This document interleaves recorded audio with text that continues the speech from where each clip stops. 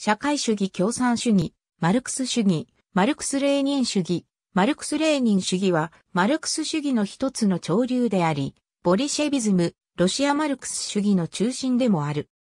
レーニンの死後、ヨシフ・スターリンによって提唱され、定式化されたロシア革命の指導理念として、ボリシェビキの指導者、ウラジーミル・レーニンが暗出したもの。また、それを一般化、普遍化した思想である。現在存続しているマルクス・レーニン主義の国家。北朝鮮は、マルクス・レーニン主義をより発展させたモデルを採用している。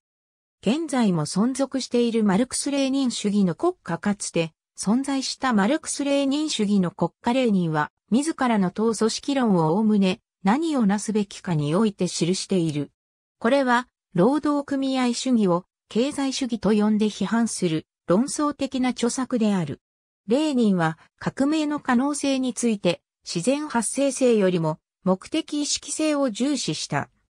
その上で革命への目的意識は外部からプロレタリアートに注入できるとも考え、革命理論はプロレタリアートの外側から知識人が持ち込むものと考えた。